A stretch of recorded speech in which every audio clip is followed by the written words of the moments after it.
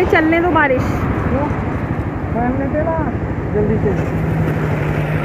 क्या कह रहे हो? पहन लेता हूँ। अरे नहीं चेतन वो हार्डली थोड़ी बारिश है। ये तो कुछ बारिश भी नहीं है जो ज़ोर से होगी तो पहनना। अभी नहीं है बारिश बिना बात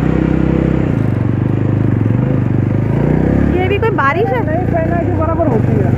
कोई बात नहीं।